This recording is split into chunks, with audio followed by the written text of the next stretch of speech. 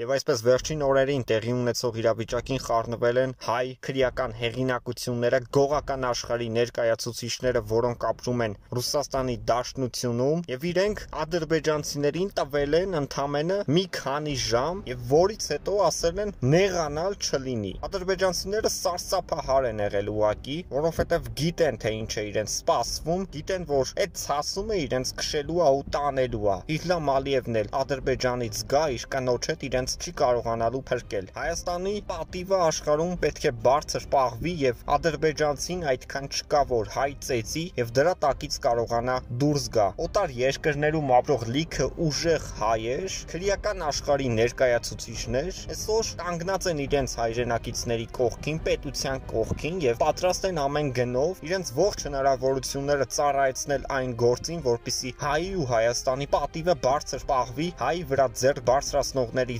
ձեռքերը կտրվեն, կոտրվեն եւ այս ամենը ադրբեջանցիների մեջ ուղակի սարսափա դարձել անգամ են ադրբեջանցիները, որոնք հայերին ապրանք չէին վաճառում, սկսել են ներեգություն խնդրել հայերից ու երբ գրել էին հայերին չի վաճառվում, հիմա գրել են հայերի համար անվճար է։ Այսպես հայերը հատարած սակացնելու են բոլոր ադրբեջանցիներին, որոնք կփորձեն իրենց չափերը անցնել, որոնք կփորձեն քաղաքականությունը ցույց տալ Ռուսաստանի Դաշնությունում կամ ընդհանրապես աշխարհի տարբեր անկյուններում եւ հակահայկական գործողություններ անելով կտեսնեն հակաադրբեջանական գործողությունները որն է։ Եվ ադրբեջանցիները այսօր շատ հույլ են, երբ համեմատում ենք մեր ուժեղ հայերի հետ։ Ինչպես գիտենք, այս ամենը իրագործվել է Ռամիր Սաֆարովի, Իլհամ Ալիևի եւ Սաֆարովի ընկերների կողմից։ Կազմակերպիչները հատ-առհատ կարող են գտնվել եւ արնակամ լինել հայկական գողական աշխարհի ներկայացուցիչների կողմից, որոնց համար այսօր Ռուսաստանի Դաշնությունում խնդիր չկա եւ իրենց դեմ խաղ չկա։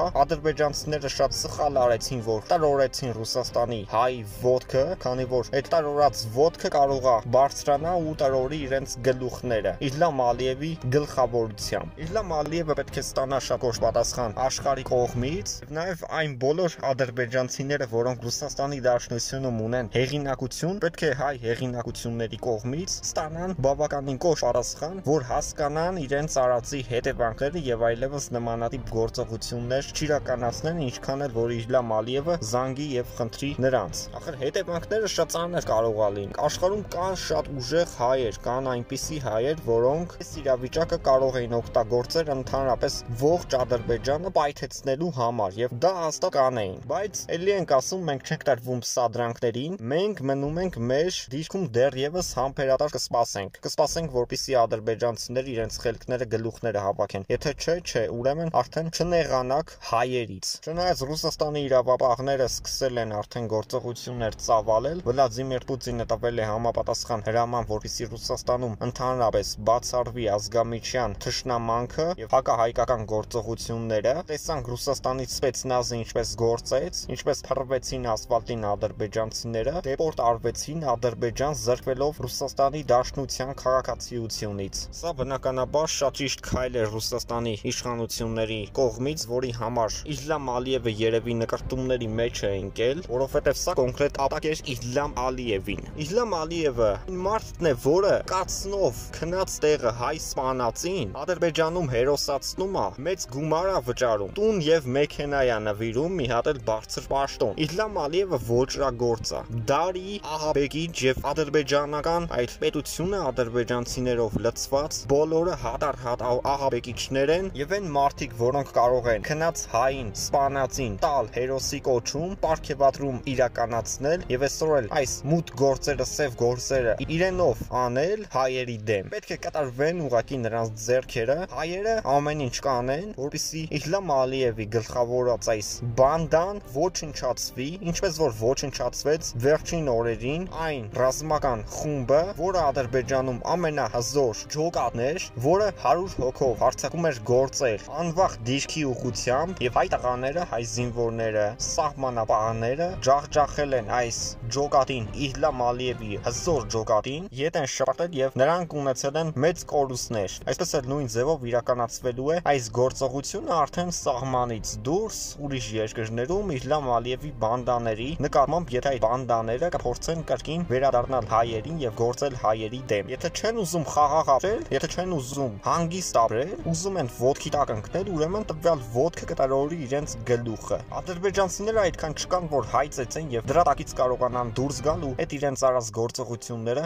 մարսեն։ Այն հայ մեքենան, որը կոտրում էին ադրբեջանցիները, այդ մեքենայի նոր մոդելը պետք է գնեն ու նվիրեն տվյալ տղային, ներողություն խնդրել նրանից եւ բոլորը խմբով միասին մեկ տեսանյութում պետք է ասեն, որ Արցախը դա Հայաստանինն է ու վերջ։ Հույս ունենք, որ մեր հայերը կկազմակերպեն այս ամեն ինչը, սա շատ բավաբեր կլինի։ Եթե իհարկե տվյալ ադրբեջանցիները չէին հայտնվել ռուսական սպեցնազի ձեռքում եւ այլևս Ռուսաստանի Դաշնությունում չեն։ Եվ այսպես Իլհամ Ալիևին եւ ադրբեջանցիներին իր դառը ապտակն է հասցրել նաեւ Ֆրանսիայի նախագահը Մակրոնը։ Նա այսպիսի մի հայտարարություն է արել, ասելով, որ լինելով դեմ Ադրբեջանին եւ լինելով կողմ Հայաստանին նշանակում է լինել կողմ խաղաղությանը։ Այսպիսով ոչնչացնելով Ադրբեջանի այն թեզը, երբ ադրբեջանցիները ասում են, որ հայերն են սադրում, հայերն են կրակում եւ ադրբեջանցիները միլիարդներով փողեր են ծախսում աշխարհի լրատվական դաշտում, որ մեղավորը դուրս գա հայը, բայց դա չի ստացվում։ Եթե իրենք այդ կեղտոտ դրատվական դաշտով են փորձում հային վարկաբեկել, մենք իրականությունը երկրի ղեկավարների շուրթերից հնչեցնում ենք։ Ժամանակին էլ Անգելա Մերկելը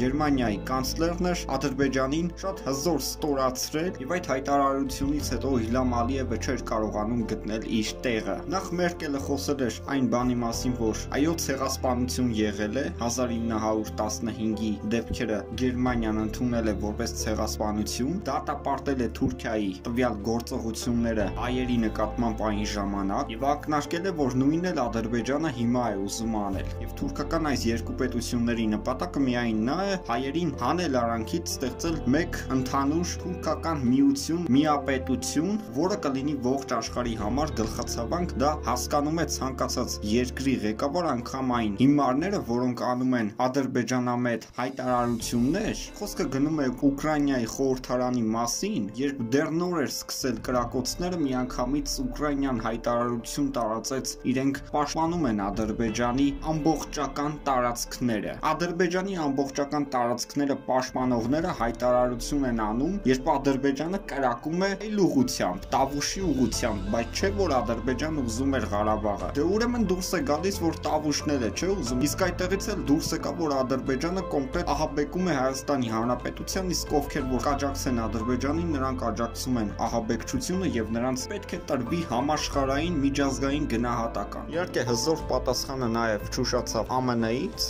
եւ հզոր եւ խելացի երկրների քաղաքական գործիչները իսկապես հասկանում են խնդրի բովանդակությունը եւ կարողանում են ճշտգրիտ եւ տեղին հայտարարություններ անել եւ ոչ թե որոշ երկրների ղեկավարների պես միայն անեն խաղաղասիրական հայտարարություն մենք կոչ ենք անում հրադադարի ու ձերքները ցալած նստեն ու սպասեն թե ով է առաջինը հրադադար անելու ԱՄՆ-ն մտածեց պատժամիջոց Ադրբեջանի նկատմամբ շուտով դա կիրառվի եւ այսպիսով արեց իր քայլը այս հակամարտությունում մեղավորին պատժելու գործընթացում։ Իսկ ինչ են արել մնացած այն երկրները, որոնք անընդհատ հրադադարի կոչեր են անում։ Օրինակ Կադիրովը հայտարարություն ցանկություն էր տարածել բացառիկ հայտարարություն Կադիրովի հետ կապված, որովհետև Կադիրովը նման բաներ երբևիցե նրանից չեն կարող սպասել։ Բայց դա եղավ ինքը գրել է, որ ես եղբայրական Հայաստանին եւ Ադրբեջանին կոչ եմ անում հրադադարի, ինքը փաստեր էր վերել նախկին Արցախյան պատերազմը, թե ինչպես եղավ այդքան զոհ եւ ասել է, որ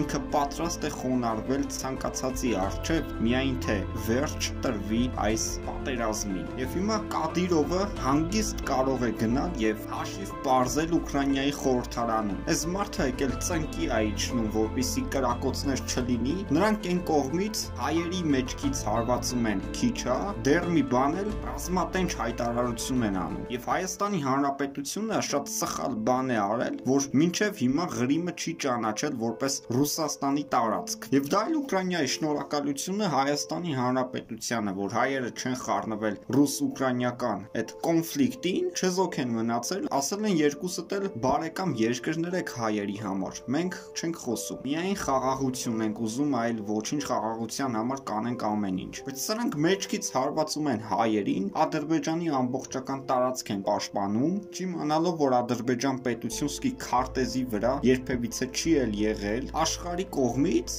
Ուկրաինան ստացավ շատ դաժան պատասխան այսպիսի անհեթեթություններ դուրս տալու համար։ Նման հայտարարություններ հայտարարություն մենք կարող էինք հանգիստ սպասել Թուրքիայից։